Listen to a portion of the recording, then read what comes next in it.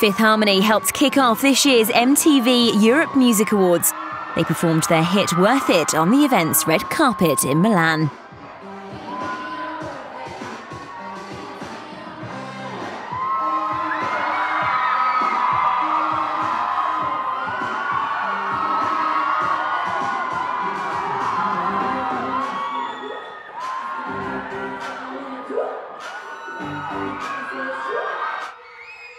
Whilst they rocked the red carpet, it was Justin Bieber that stole the show.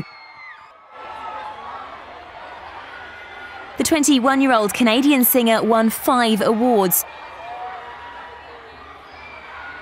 He picked up Best Male, Best Look, Worldwide Act North America, Biggest Fans, and Best Collaboration for Where Are You Now with Skrillex and Diplo.